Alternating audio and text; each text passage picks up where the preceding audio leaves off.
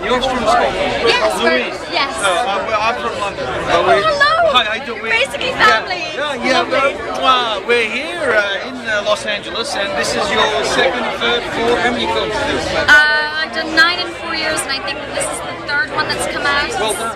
Thank Well you. done. And uh, three words. What's this film about? In three words. Relationships, love, jealousy.